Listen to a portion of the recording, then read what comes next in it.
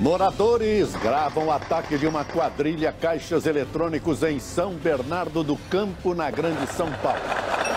Pesquisa Ibope mostra que 14% da população acham o governo Temer ótimo. Para 39% é ruim. Ministério Público Federal diz que propina da Petrobras pagou o jatinho que caiu com o ex-governador de Pernambuco, Eduardo Campos. Presidente do Senado será julgado no Supremo Tribunal Federal por peculato e falsidade ideológica. Para ministro do Supremo, Ministério Público fez espetáculo midiático na denúncia contra o ex-presidente Lula. Furacão mata sete pessoas no Haiti e ameaça a Flórida, nos Estados Unidos. Atentado em festa de casamento deixa pelo menos 36 mortos na Síria. Resultados do Exame Nacional do Ensino Médio mostram piora no desempenho das escolas públicas. Alunos do interior paulista testam um professor robô. Eu sou o professor. Devotos de São Francisco de Assis levam bichinhos de estimação para a bênção do padroeiro.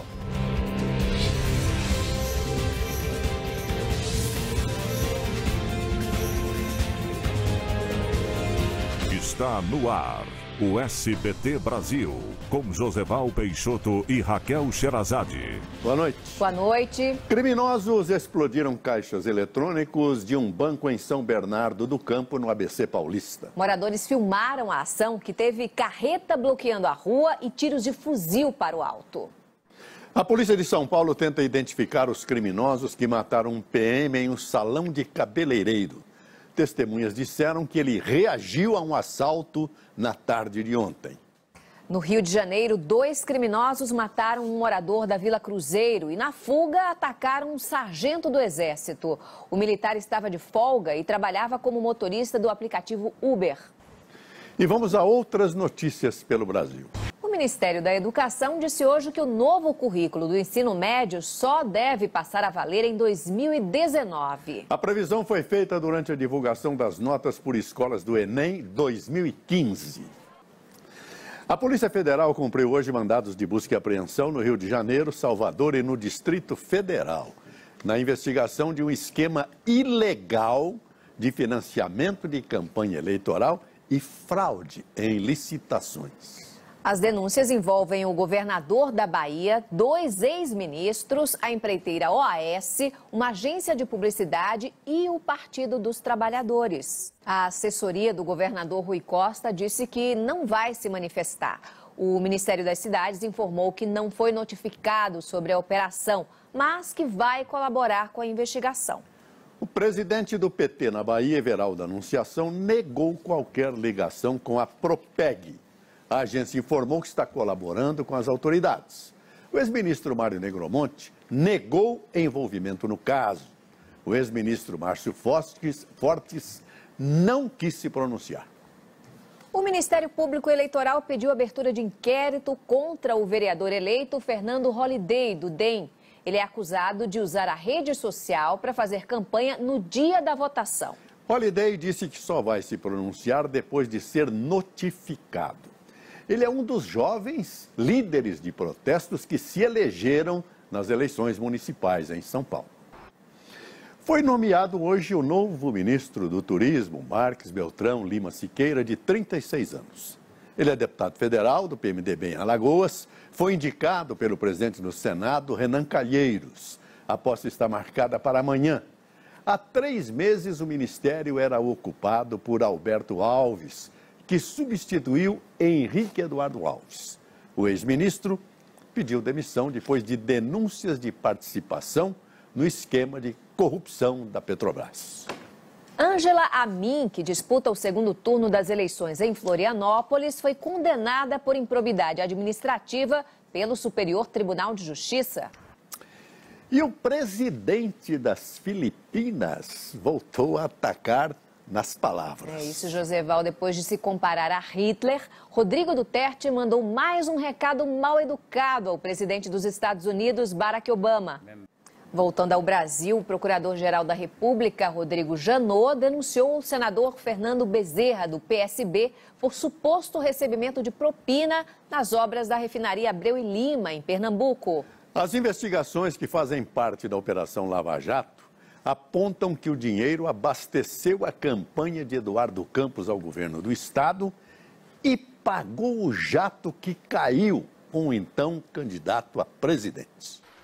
O senador Fernando Bezerra disse que as denúncias são absolutamente descabidas e sem provas.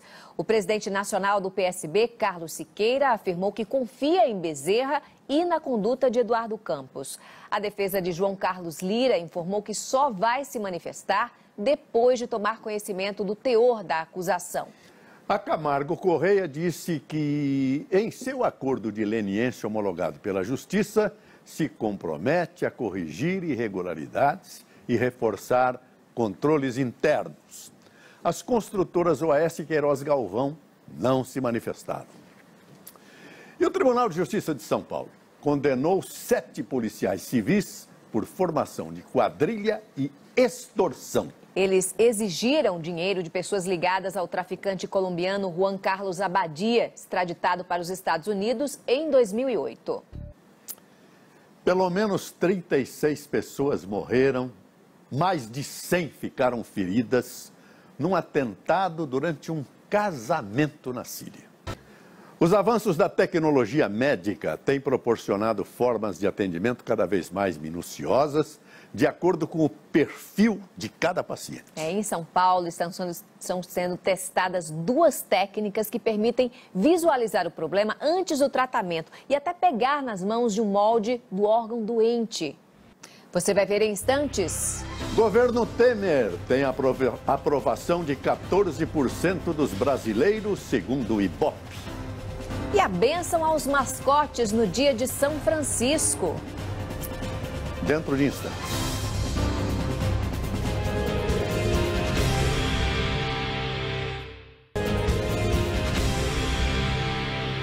O presidente da Câmara, Rodrigo Maia, marcou para a semana que vem a votação da PEC que limita os gastos públicos. A nova proposta aumenta o investimento na saúde antes do congelamento por 20 anos. Pesquisa do Ibope encomendada pela Confederação Nacional da Indústria mostra que a aprovação do governo Michel Temer segue estável. Vamos ao vivo a Brasília falar com Kennedy Alencar. Boa noite, Kennedy. Qual foi a avaliação do Palácio do Planalto sobre a pesquisa que mostrou mais uma vez baixa popularidade do governo Temer? Obrigada, Kennedy. O Supremo Tribunal Federal negou o pedido da defesa do ex-presidente Lula para transferir os inquéritos contra ele, que estão com o juiz Sérgio Moro em Curitiba, para a corte. Ao julgar o recurso, o ministro Teori Zavascki, relator da operação no Supremo, chamou a ação dos procuradores do Paraná de espetacularização. Segundo ele, algo que não é compatível com as investigações que apuram suposto pagamento de propina ao ex-presidente Lula. Veja a seguir a experiência de alunos no interior paulista com um professor robô. Maior feira de gastronomia do mundo apresenta o cafezinho de bolso. Comembol desiste de jogo único na decisão da Libertadores. Bichos de estimação recebem a benção no dia de São Francisco. É o que você vai ver já já.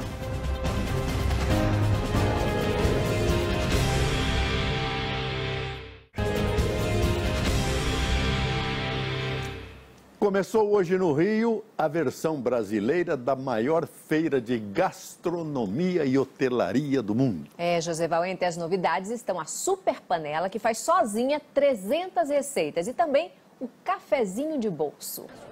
O ministro Edson Fachin, do Supremo Tribunal Federal, liberou para julgamento o processo contra o presidente do Senado, Renan Calheiros, que é suspeito de ter as despesas pessoais pagas por uma empreiteira. Agora, Raquel, imagine ter um professor robô, ter aulas com robô. É bom isso? A novidade está sendo testada por pesquisadores da USP de São Carlos. Essa experiência chama a atenção dos alunos, mas será que existe um substituto para o mestre Joseval de carne e osso? Veja na reportagem de Celito Esteves. E essa e outras reportagens você pode rever no site do SBT. Boa noite. Boa noite, Brasil. Tchau.